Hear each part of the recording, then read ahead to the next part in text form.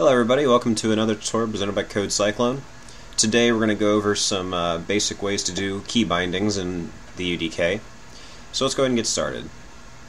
First off, go ahead and load up your development folder, which if you look in your UDK folder it'll be whichever build you're working with. Go into the UDK game folder, the config folder, and then load up defaultinput.ini see that. And once you do that, it's going to look like this. And the very top will be uh, based on base input.ini. Alright, now as you're done, you can kind of get an idea of how these bindings work. Um, those are removed. Let's keep going. So remove. There we go. Take this for example. These are game bindable actions, as it denotes here. Alright, and what that is, is it's basically, uh, how do I put this best? Like you have a mapping. Like this point maps this building kind of deal. You know a certain key maps a certain command and the command will be like that. So if I press uh, let's see when here. If you press spacebar this will get called. The command is jump and it's sending in or it's doing this action here. Alright? So it's going to do this and this. And this is a pipe if you're used to Unix um, this is familiar. It's a, just a piping or a uh, an extra bit of information that gets stuck on there.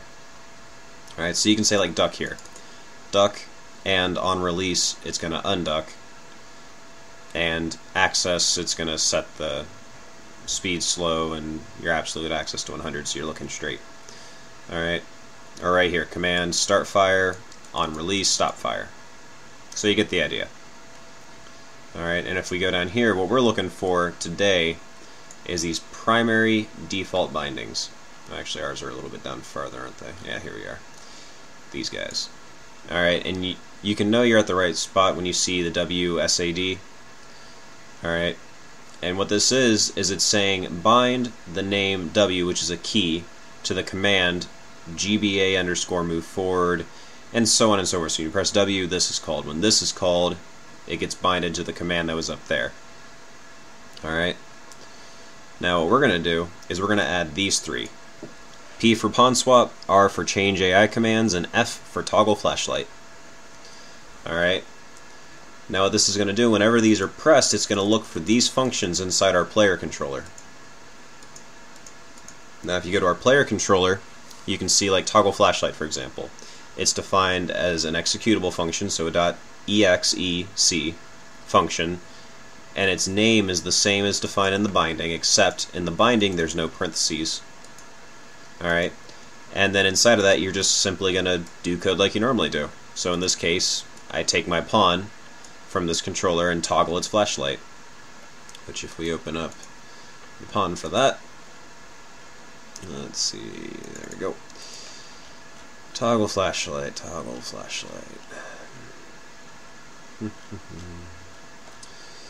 So there we go. This guy. It's going to turn, determine if my light's on or not. It's going to call the event that my flashlight was toggled, which this is some replication stuff you guys don't have to worry about just yet. We'll get into that uh, probably in a tutorial too, actually, which is kind of exciting. I think we've already gone that far. Alright. But it's really that simple. It's, uh, bindings, a lot of people have trouble with it, but if you just take the time to go through the different INI files, you really shouldn't have much issue figuring out what's going on. Alright. It should uh, it should be pretty straightforward. But uh, as always, if you guys have any more questions or issues, feel free to send them to me, and we can work something out. Um, but aside from that, till next time, guys,